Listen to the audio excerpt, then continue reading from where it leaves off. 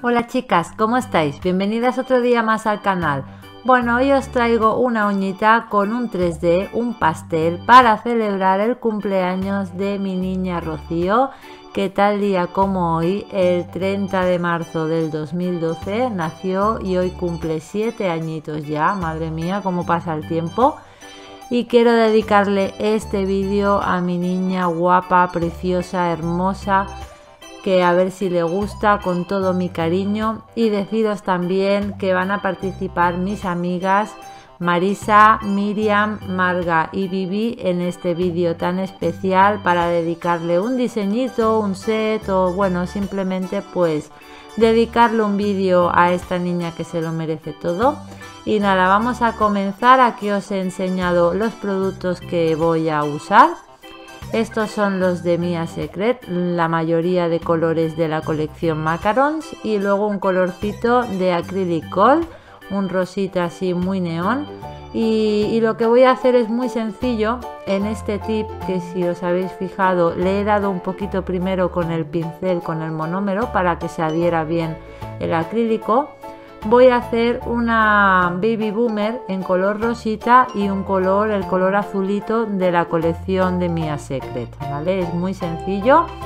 Deciros que como siempre a mí estos vídeos me van súper bien para practicar y, bueno, es una Baby Boomer que aunque guerré un poquito porque estaba estrenando este pincel, el Cream Pet Brush, que ya os lo enseñé en un vídeo de compras. Son estos pinceles que son planitos, que son rectos. A mí me gusta trabajar con este tipo de pinceles. Los que acaban en punta no me van nada bien porque si os fijáis yo soy de las que coge el acrílico mm, bastante más tirando a líquido que que a perlita ya compacta como yo digo y me gusta pues como el que esmalta una uña así uso yo el acrílico. Yo no lo hago con perlitas compactas porque no, no se me da bien se me queda muy mal la uña entonces prefiero hacerlo así. Y entonces de esta manera abarco más si os fijáis es más ancho y entonces se abarca más y acabo antes lo que es la aplicación y me queda más lisita. Deciros que no pensaba limar porque bueno, viene a ser una práctica más, pero al final acabé limando para que el resultado quede más bonito, quede más limpio y que se luzca más el 3D. Lo que hice fue hacer la Baby Boomer, esperé a que se secara el acrílico, limé, pulí y luego le di con un top coat en mate de la marca Bernal Cosmetics, que ya os lo enseñé también en un videito de compras. Y nada, en la que estoy terminando esta, esta baby boomer, que ya sabéis que me encanta esta técnica.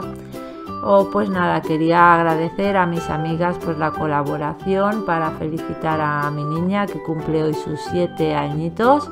Que bueno, ya habéis visto en la, en la foto de, de, la miniatura, pero bueno, si queréis os la dejo también por aquí para que veáis lo guapa que es. Vamos, ¿qué voy a decir yo de mi niña? Si es que es lo más bonito. Pero bueno, también deciros que es un bichillo que de vez en cuando hay que estar también muy encima de ella porque si no se descantilla, como yo digo. y bueno, mira, aquí os estoy enseñando cómo quedó después de limarla, pulirla y darle con el top coat en mate. Ya cambia la cosa, se ve mucho mejor, más, más lisita, más acabada. Y ahora es cuando vamos a comenzar el 3D, que ya sabéis que me encanta Voy a empezarlo con este acrílico de la marca Acrylicol que me envió por cierto mi amiga Cinoret, mi amiga y profesora del 3D que todo esto que estoy haciendo pues se lo agradezco a ella y se lo debo a ella porque es la que me ha enseñado desde cero. Y ahora pues bueno veo cualquier diseñito por la web o por algunas aplicaciones y me atrevo a hacerlos cosa que antes no tenía ni idea y, nada, como veis voy cogiendo las perlitas, las voy moldeando, las voy aplanando, les doy su forma.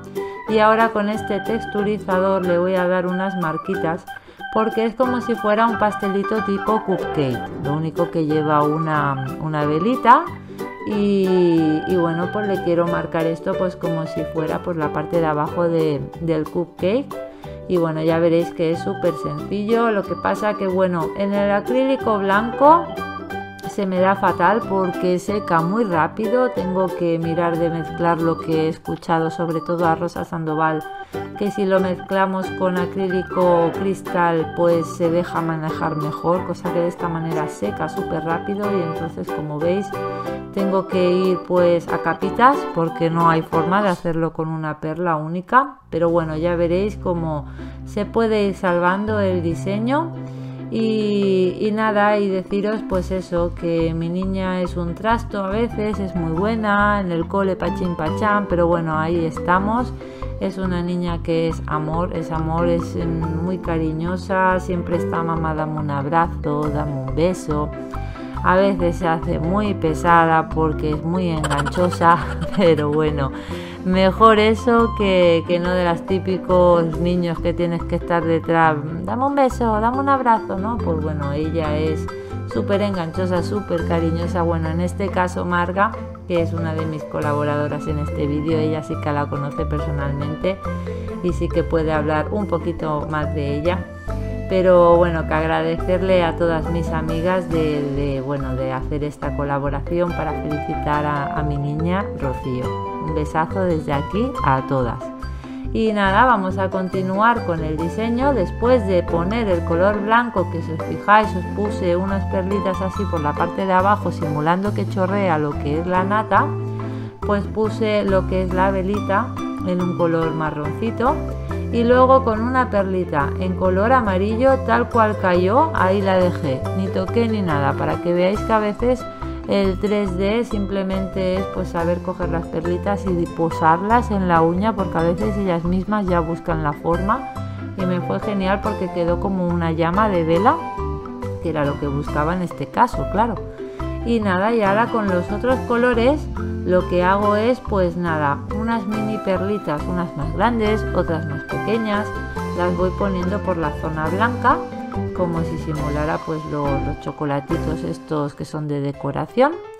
Y, ya habéis visto que es un diseño súper súper sencillo no tiene ningún misterio es todo cuestión de practicar y bueno ya veréis también que a última hora como la parte rosita la primera que puse la, base del, del cupcake se me manchó un poquito de blanco porque es con el que más guerreé lo que hago pues ahora con el color rosita vuelvo a darle un poquito por encima para, bueno recuperar ese color rosa neón que, tiene este acrylicol que me encanta. Deciros que tanto con acrylicol como con el de Mia Secret se maneja súper bien para el 3D que quedó pendiente ese tema cuando os lo enseñé en la reseña de los colores.